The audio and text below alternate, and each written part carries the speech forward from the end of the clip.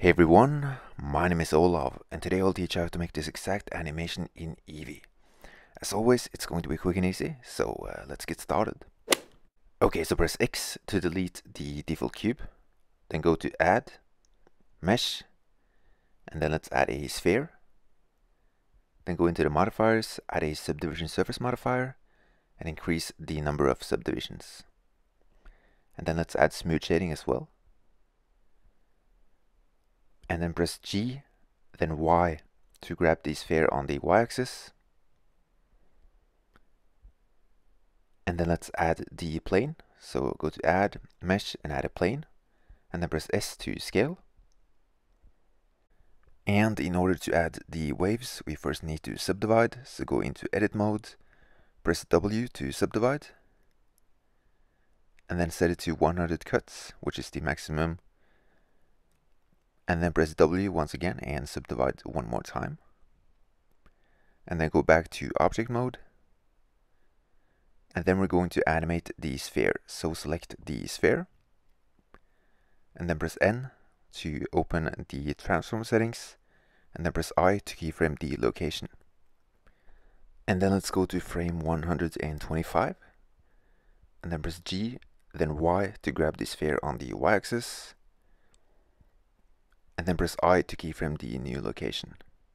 And then let's go to the last frame, and then press G, then Y to grab the sphere on the y-axis, and then press I to keyframe once again. As you can see, we have the animation, so now it's time to add the waves using the animation. And you can press S to scale up the sphere if you want it to be bigger. And then let's go into the physics settings, and then enable dynamic paint and then set it to brush and then set the wave type to force which is uh, sort of the equivalent to an obstacle in a fluid simulation. And then select the plane. And then once again dynamic paint add canvas and then set the surface type to waves and then increase the number of substeps to increase the animation smoothness. And then enable open borders, which means that the waves moves out of the plane instead of bouncing back.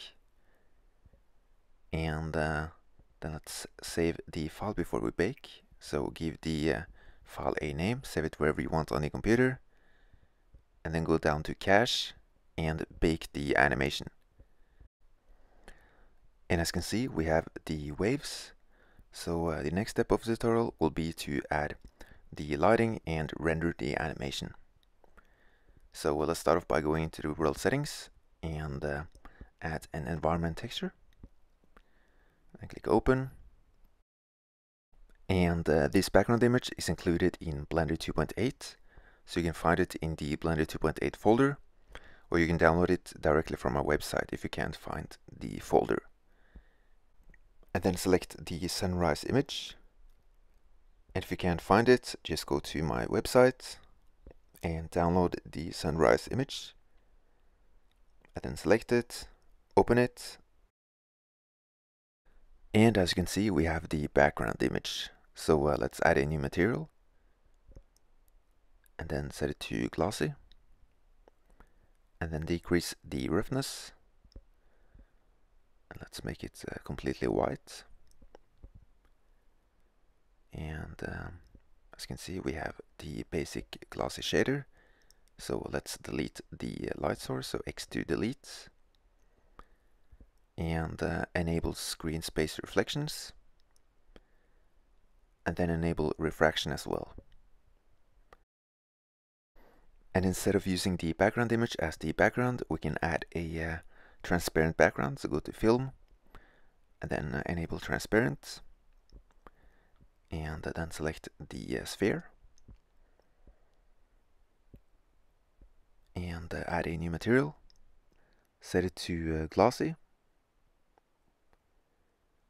Decrease the roughness and um, add a color. Just going to add orange and then select the plane and add smooth shading for the plane. Okay, so let's uh, set up the camera. So press numpad 0 to uh, look through the camera.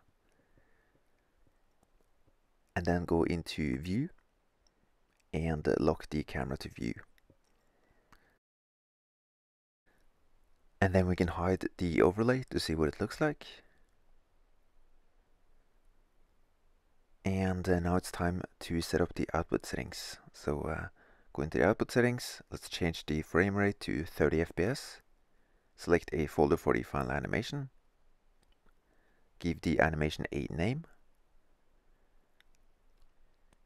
And then we're going to set the file type to AVI JPEG. And uh, let's increase the quality to 100%. And then go to renderer and set the display mode to the image editor. And then click render and then render animation. And that's it for this tutorial. I hope you enjoyed it and I'll post more Blender 2.8 tutorials very soon. So thank you guys for watching and subscribe.